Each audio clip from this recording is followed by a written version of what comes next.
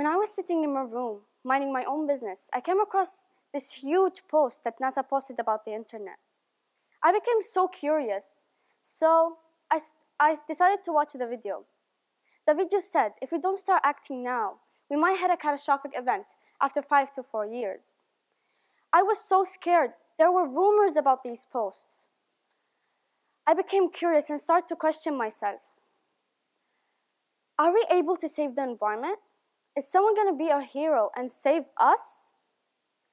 So, I hit the browsers for answering. I kept searching and searching and searching. Some answers were similar, but there was one answer that was so popular. Many of you guys know it, but if you don't know it, it's fossil fuel. So a quick introduction for fossil fuel. According to a website called Climate Kids, fossil fuel was found in northern China.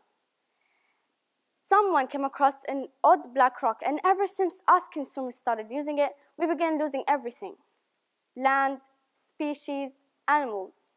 As many global warmings kept happening, wildfires, land were, was burnt to crust. Some people were getting, to, getting the idea that we are losing our beautiful planet. I was so scared, so I started, I wanted to chill off my mind.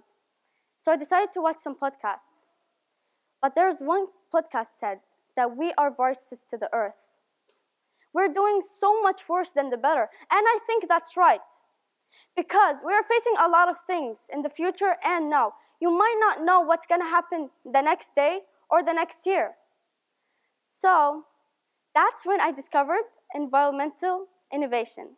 What is environmental innovations? Environmental innovation is an organization's implementations and changes focusing into the environment with implications, companies, products, and manufacturing process with different degrees of novelty. Like many engineers have created things that are able to save the environment, are not harmful for our beautiful humanity and animals. Like solar glass, what if every window in a skyscraper could generate energy from the sun? That's the promise of solar glass, an emerging technology that's been getting a lot of buzz in the sustainability and the designs. As you could in theory, solar glass is made out of transparent window material that could generate energy from sun and convert it to electricity in a safe, healthy way. And that's why we have been able to convert energy from the sun with solar glass. Two, plant-based plastic. Plant-based plastic is great one palatable solution. As they could in theory, we could replace so many plastic products with plastic-based and plant-based plastic. An Indonesian company called Avani Eco have been making plastic, plant-based plastic out of cassava since 2014. In the next decade, we will be knowing what are the things are made of, what we buy. Plant-based plastic is so much important. And in fact, Avani Eco have created, have company, collaborated with many companies Three, many of, many of you guys know greenhouses. Greenhouses are houses for plants, a home to grow your plants in. Not only does it provide life, food, it actually keeps us safe. It's not harmful for animals, it's good for humanity, and we need greenhouses. Four, it is one of my favorite, favorite option, Ecosia. Ecosia is a web searcher. Every four to five search, you get a tree planted. As you could in theory, Ecosia have planted over 160 million trees. Do you know how much that is? That's so much. I mean, ecosia is a great thing to the environment because it helps us be so safe. Four, this is the easiest option to do with your family, fun, and your friends.